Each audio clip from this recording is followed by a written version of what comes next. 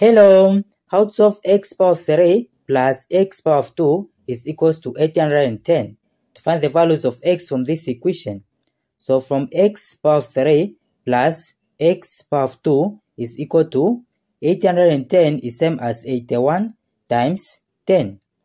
Then in next step it will be x power 3 plus x square is equal to 81 is same as 9 square times this 12 9 10 is same as 9 plus 1 then bracket. Then in next step it will be x power 3 plus x square is equal to 9 square times 9 is 9 power 3 then plus 9 square times 1 is 9 square. Then we take this to left side and this to left side. So to be this x power 3 then this to be minus 9 power of 3 plus this x square. This when you take to left side to be minus 9 power of 2 is equal to 0. Then from this part is in the form of a power of 3 minus b power of 3 which is equal to a minus b bracket then times a square plus ab plus b square bracket. Then from this part is in the form of a square minus b square which is equal to a minus b bracket then times a plus b bracket.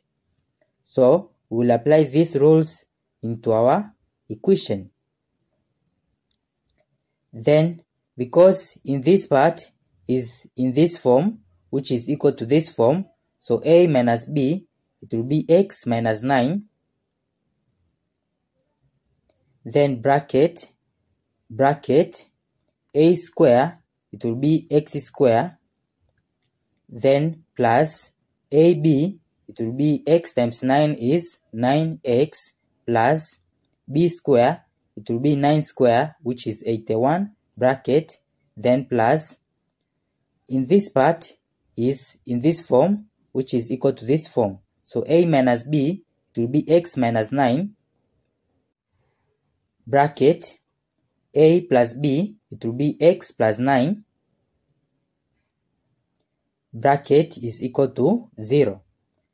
Then in next step, for my equation, x minus 9 is common. So we take x minus 9 out of bracket, then it will be this, which is x square plus 9x plus 81, then plus this x plus 9 bracket is equal to 0. Then our equation will be x minus 9 bracket bracket x square plus 9x plus x is 10x 81 plus 9 is 90 so plus 90 bracket is equal to 0 now from here we have two solutions. Whereas this is the first solution x minus 9 is equal to 0 and this is the second solution x square plus 10x plus 90 is equal to 0. Now to solve from here, we take negative 9 to the right side, so to be x is equal to 9. So this is the first value of x in this our problem. To solve from this quadratic equation, we will use quadratic formula which is x is equal to negative b plus or minus square root of b square minus 4ac over 2a. Whereas a is equal to coefficient of x square is 1, b is equal to coefficient of x is 10, and c is equal to constant which is 90.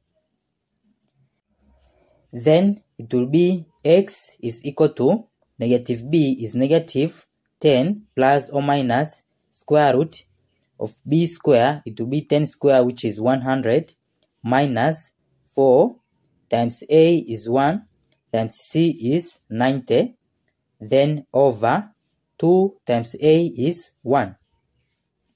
Then x is equal to negative 10 plus or minus square root of 100 negative 4 times 1 times 90 is negative 3 60. Then over 2 times 1 is 2. then x is equal to negative 10 plus or minus square root of 100 minus 360 is negative 260 over 2.